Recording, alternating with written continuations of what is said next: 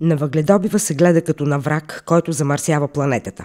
Неговата цел обаче е друга и тя е свързана основно с производство на електрическа енергия.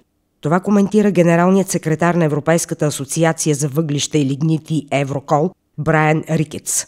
Той участва в конференция в Стара Загора, посветена на пакета Чиста енергия, организирана от Института за енергиен менеджмент. Рикетс каза още, че Европейската комисия се позовава на статистика на Световната здравна организация, според която следствие на вредните емисии от горенето на въглища годишно умира 23 000 души.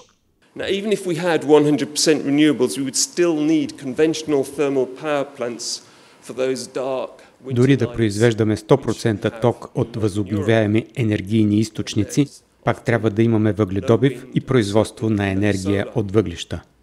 Вече се разработват технологии за улавяне и съхранение на въглерода.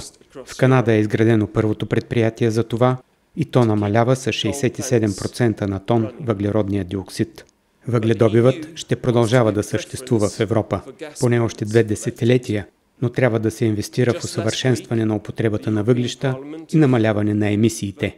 Конфедералният секретар на КАТЕ подкрепа Александър Загоров обърна внимание на последиците, до които ще доведе евентуалното затваряне на комплекса Марица Изток заради високите европейски екологични изисквания.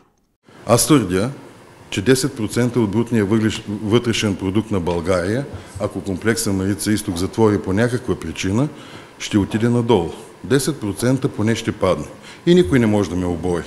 Според Александър Загоров, спирането на работата на дружествата в комплекса ще има остър социален ефект.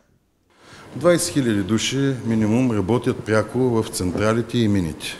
Направихме различни изследвания и тогава стигнахме до една норма, където един заед, трайно заед в мина или в ТЕЦ, води след себе си 8 трайни, устойчиви работни места, поне 8.